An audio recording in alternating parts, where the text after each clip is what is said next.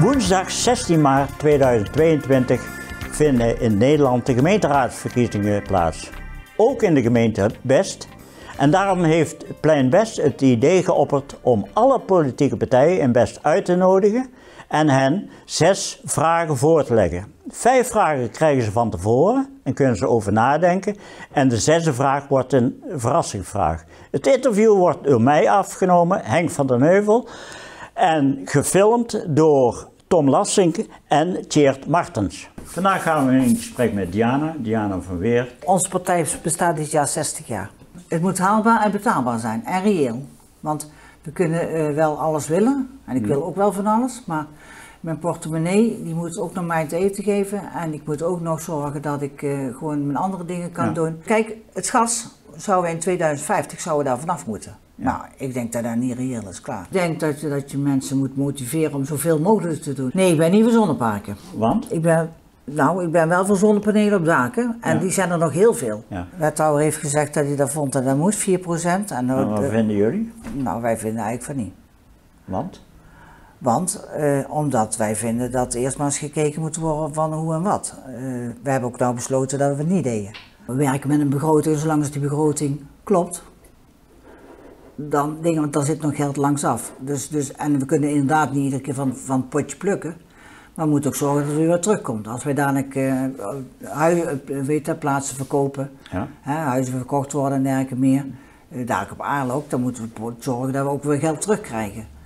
En als wij eh, eh, subsidies ergens kunnen vangen, moeten we ze ook zien te vangen. Ja. En daar moeten we heel goed ons best op doen. Want ik bedoel, de gemeente Best kan daar nog best wel heel erg op scoren. Inbreiding gaat voor uitbreiding, vinden wij. Ja. En waarom? Omdat er gewoon heel veel plekken nog in Best zijn. Zijn er nog veel plekken? Ja, er zijn nog best veel plekken. Als je kijkt, de boomgaard, ik, ik kan ze niet allemaal opnoemen, nee, want dan had ik, het, had ik een mee moeten brengen. Maar als je kijkt naar de boomgaard bij de ABAP-kantoor, daar kunnen geloof ik iets van 300 huizen staan, of meer, ik weet niet precies. En eh, waar kunnen er nog meer huizen staan? Eh, bij ons in de, in de wijk Heuflijnd Ja. kunnen nog huizen komen. Daar bij de Netse Farm, dat is ook eigenlijk wel inbreiding, want het sluit aan. Hè? Is, eh, komt er, kunnen nog een hoop huizen komen. ja, maar ook de communicatie moet dan. eh? Ja, maar daar schort ook nog wel het een en ander aan. Dan mag, nou, gewoon. Je moet niet heel vragen wat dan. nee, communicatie van de gemeente Best heeft, eh, daar kan heel veel mee gebeuren. Die moeten gewoon zorgen dat ze wat beter communicatief naar de inwoners zijn. En niet denken van, eh, wij regelen het wel en eh, de rest moet maar meedoen. Nee, eerst eens vragen wat ook inwoners willen. En ook naar luisteren. Maar niet zo van de hardroepers eerst en dan de rest moet maar volgen. Als er in jouw wijk iets gebeurt, dan moet je daar ook eh, in mee kunnen praten. En is Todo een, een aanwinst dan? Ja, dat denk ik wel. Ja. Ja. En ik moet eerlijk zeggen, ik kom vrij regelmatig langs Todo. Ja. En daar zijn toch wel altijd wat jonge mensen en dingen. En, en ehm, eh, niet alleen de probleemjongeren, maar ook de andere jongeren. ja. En eh, ja, is ook zo'n rot woord, probleemjongeren. Maar eh, mensen weten de weg allemaal naar Todo te vinden. Ja, wat heel belangrijk is, is preventie. Want hoe, hoe vroeger dat we erbij zijn, hoe beter dat is. En dat is, dat is de insteek ook wel van, van de gemeente Best. Moeten wij een wijk worden van Eindhoven? Of? Nee, wij worden geen wijk van wij. En nee, als aan mij ligt, dan ga ik er echt wel voor liggen. Sparen ging vroeger in de schuttersputje maken hè, bij het kanaal, maar eh, Maar waarom ik niet? niet.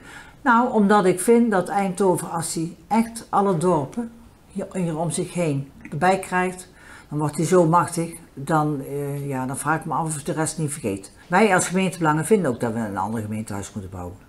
Langs een Zeeman. ander huis, een ander huis, langs Zeeman. Langs vinden, dat vinden we. En waarom vinden we dat? Eh, omdat het gemeentehuis wat we nu hebben, eh, ligt in de zonzijde. Ja. Daar zou je heel goed horeca kwijt kunnen. Maar het oude gedeelte moet blijven staan, hè? Dus, Ja, van, van, van, wat ons betreft mogen ze er wel een hotel neerzetten of zo, van maken. Het oude, de, de blok. Ja, de oude blok. Ja, de blok van mogen ze van ons- een gemeentelijk monument. hè? Ja, ja, En dan mogen ze een hotel van maken. Van ons wel. Eén huis. En dan multi- multifunctioneel. Multi- Ik dank je heel hartelijk. Een stuk eh, Ik ben, openheid. veel, ik ben veel te, veel te open volgens mij, maar goed. Hartstikke bedankt.